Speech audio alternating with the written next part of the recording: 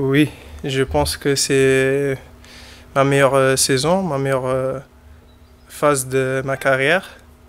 Et euh, j'étais récompensé dans la convocatoire de la sélection. Et je pense que ça, c'est le, le, rêve de chaque, chaque professionnel de, de foot. C'est d'un jour pouvoir représenter son, son pays. Évidemment, c'est une grande fierté parce que tu représentes euh, ton pays, tu, euh, tu rends beaucoup de, de gens, de, beaucoup de, de familières euh, heureux. Et, et voilà, tu, tu te dis c'est c'est un rêve depuis tout petit et que ça devient réalité. Quoi. Honnêtement, honnêtement j'ai eu des, des phases aussi. J'ai eu des phases que quand j'ai quitté Sporting, euh, je me suis dit, euh, et quand j'ai laissé l'équipe d'espoir, euh, je me suis dit, il faut bosser pour, pour y arriver, pourquoi pas. Après, j'ai bien, bien vu que c'était pas, pas simple. Et, et voilà, depuis 8 ans que j'ai quitté les espoirs, j'ai arrivé. Il y a certains joueurs qui arrivent plus tôt, il y a des autres qui arrivent plus tard, comme mon cas. Mais euh, il faut toujours euh, croire. Mais euh, je pense qu'il faut le faire inconsciemment. Il faut, il faut bosser au quotidien. Et après, si tu es bien au quotidien, un jour, ça, ça va payer. Et c'est ça que ça m'est arrivé. Honnêtement, c'est c'est pas le travail de Pedro Mendes, c'est le travail de, de collectif. c'est évidemment aussi que je trouve que pour un défenseur, faire partir de la deuxième meilleure défense de, de, championnat derrière Paris, ça, ça a bien montré au sélectionnateur. Et, euh, et voilà, je pense qu'il a voulu euh, me voir de, de proche et il m'a appelé. Mais comme je dis, c'est, c'est un tout. C'est pas que Pedro Mendes. C'est euh, l'équipe, il, allait bien, même malgré si on a fini dixième l'année dernière. Mais cette saison, ça, ça a beaucoup euh, amélioré. On a réussi, de, on a réussi à, à, gagner notre match au lieu de faire des matchs nuls comme, comme arrivé souvent l'année derrière. Il vous a dit qu'il pense à la retraite? Je pense pas. Je pense pas que, que Pépé il sera à la retraite. Euh, dès qu'il a deux jambes qui courent et qu'il se bat pour, pour jouer, je pense pas. Dès que, je pense pas qu'avec le coach qu'on a, euh, il pense à, l'âge. quoi. Parce que vous avez l'exemple de Ricardo Carvalho, il était champion d'Europe à 39 ans. Du coup, euh, José Fonte, il était appelé à 32 ans. Il n'y a pas d'âge avec euh, Monsieur Fernando Santos. En fait, euh, tous les matchs sont, des, sont des pièges, je pense. Parce qu'en Ligue 1, si tu négliges ton adversaire, ça peut te coûter cher. On l'a vu à Ganga, on avait le match dans la main et d'un moment à l'autre, on a laissé partir. Du coup, ça, ça dépend comment on va l'aborder.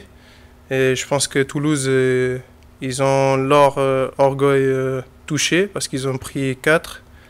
Et je pense qu'ils vont donner une réponse forte, en plus à domicile. Mais si, si on aborde le match comme on vient d'aborder tous les autres matchs, je pense peut, on peut continuer dans cette bonne phase qu'on d'un qu'on est. Quoi. Euh, honnêtement, c'était là le, le, déclic.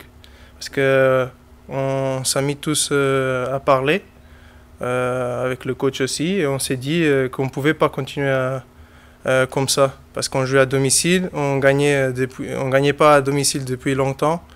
Et on s'est dit il faut, il faut faire quelque chose de plus. Et on l'a démontré contre Nice après. Et à partir de là, ça, ça a déclenché quelque chose de, de beau. Même pour les, pour les supporters, je pense qu'ils sont, sont heureux par rapport à l'année dernière, qu'on a quelque chose euh, euh, en place, quoi, offensivement. La maîtrise défensive, on l'a on gardée. Après, vous, devez, vous devrez comprendre qu'on joue à l'extérieur. Et évidemment, les, les clubs, euh, ils jouent chez eux, ils jouent devant leur public. Et ça leur donne quelque chose de, de plus, quoi. Mais évidemment, c'est mieux de prendre un point à l'extérieur que perdre les matchs. Et si on est troisième, c'est par quelque chose de positif, même si on ne gagne pas, on n'a on pas pris les trois points à Gangan ou à K. Je pense que c'est positif parce qu'on est troisième. Et je pense qu'actuellement, personne ne s'attendait à ce début de, de, saison de Montpellier.